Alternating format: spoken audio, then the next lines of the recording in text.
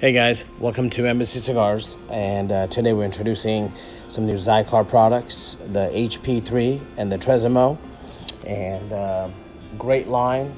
I think it's their high performance line. Uh, the cool thing is the color coordination of the tank, so you know how much uh, butane you have in there.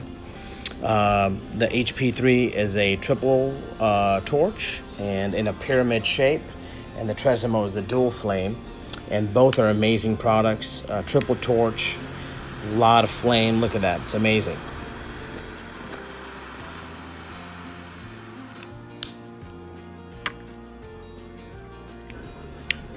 These products are available at Embassy, and you can stop by and pick one up.